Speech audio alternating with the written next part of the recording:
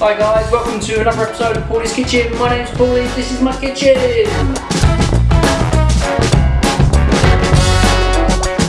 Mmm, green tea's great.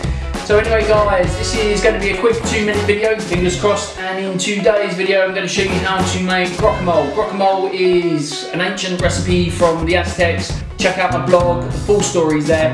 But for this recipe, everything you will need is here. As you can see, there isn't very many ingredients to this, which is why it's only going to be a two minute video, fingers crossed. So yeah guys, that's it really. I'm going to dive straight in, I'm going to show you exactly how to make this, and it's going to be amazing. Get an avocado and cut it in half and pick out the stone with your thumb. Don't use a knife like this because you might damage it, just pick it out like that. So this is what it should look like once you cut two avocados, if I can get my camera in focus that is. With the Back of dinner knife, just score the inside of the avocados. Once they're all done, get a glass bowl and spoon all the avocado out from the avocado skins. Once it's all done, get a fork and mash it all up. Oh, let's get rid of that, hopefully no one sees that. Once it's nice and mashed and it looks like this, grab a lime, cut it in half, flick it open, just like that. Get a juicer, put the lime in the juicer, and give it a nice good squeeze all over your mashed avocados. Make sure you get all the juice out.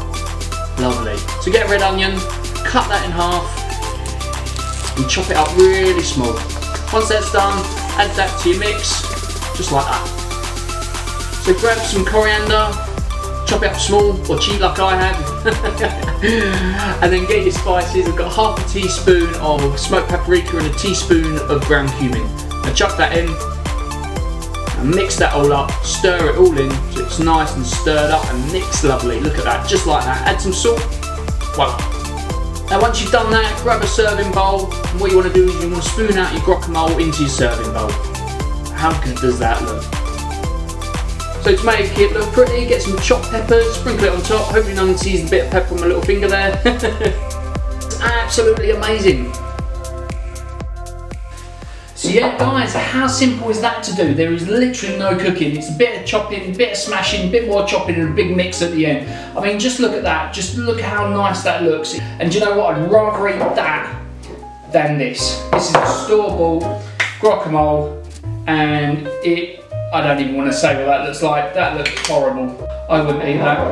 I mean, just look at the difference between homemade and store-bought. Like, they're worlds apart.